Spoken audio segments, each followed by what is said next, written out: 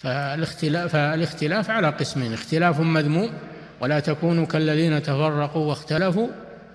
من بعد ما جاءهم البينات تصموا بحبل الله جميعا ولا تفرقوا. هذا التفرق والاختلاف هذا مذموم.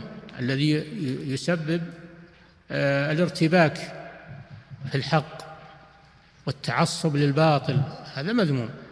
أما الاختلاف الذي يبحث فيه عن الحق فهذا محمود. من أصاب فله أجران ومن أخطأ فله أجر واحد. وإذا علمنا أنه أخطأ فنحن لا نأخذ بقوله بل نأخذ بمن أصاب. هذا هو المطلوب.